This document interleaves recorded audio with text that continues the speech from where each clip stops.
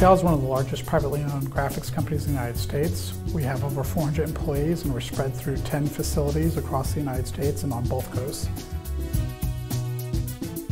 Duggal, for example, deals with 16 of Interbrand's top 25 brands in the world. So we've got a very demanding clientele who's very conscientious of how their brand is portrayed, and we want to give them the best tools to do that. And we feel the Landa was part of that.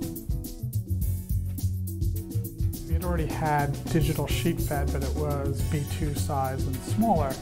And while we were in a fairly dominant position in wide format, we didn't have a 40 inch press and it really went a long way towards making us a full service graphics provider.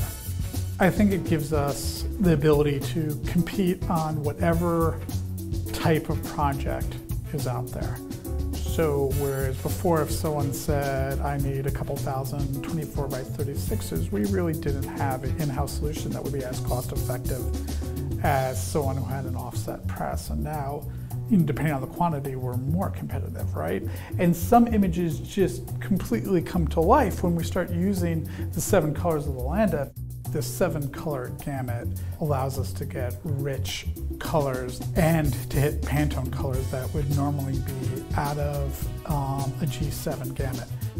Uh, if we get an RGB file, we're able to, to have really saturated, beautiful imagery that just calls your attention to the printed piece.